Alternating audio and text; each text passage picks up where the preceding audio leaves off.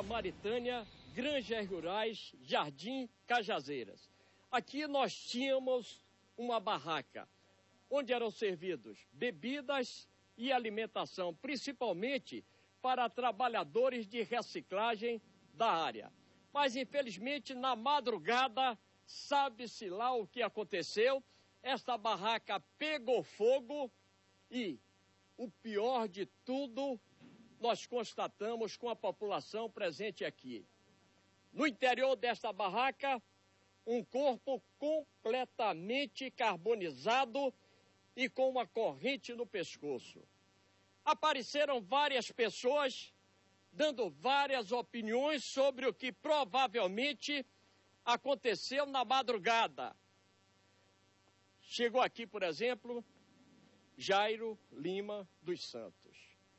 Jairo, sua irmã, sempre trabalhou nessa barraca. Sempre trabalhou. O nome dela? Jorginho Lima dos Santos. Você está com o telefone desesperadamente tentando falar com ela, ligando para o número dela e a ligação, o que é que acontece? A ligação chama, alguém atende, que ela está dormindo e desvia o telefone. Isso faz com que você acredite que, infelizmente, o corpo, que está completamente carbonizado e irreconhecível, com uma corrente no pescoço, possa ser de sua irmã? Pode. Pode ser minha irmã. Ela dormia aí? Dormia, aí, dormia aí, é sempre aí.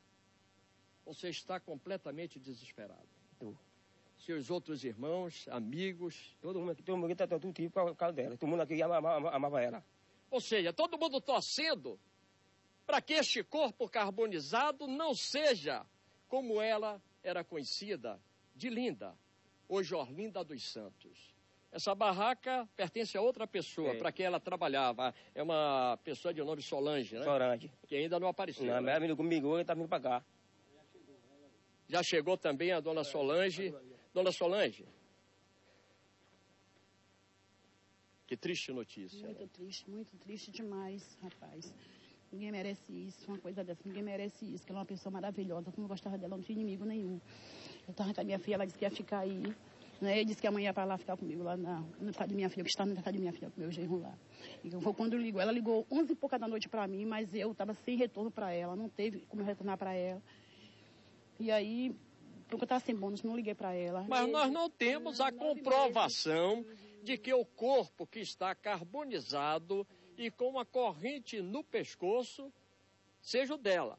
Quem vai determinar isso é a perícia técnica através do Instituto Médico Legal Nina Rodrigues, para onde o corpo vai ser removido.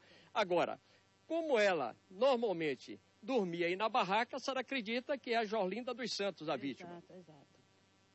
E na hora que a gente pergunta, vocês conheciam a moça? Vejam só o medo de que está tomada a nossa cidade do Salvador depois de tamanha violência que nós estamos vivendo nos últimos tempos. As pessoas nem querem aparecer, quanto mais opinar. E a nossa pergunta é: até quando tanta violência? Até quando?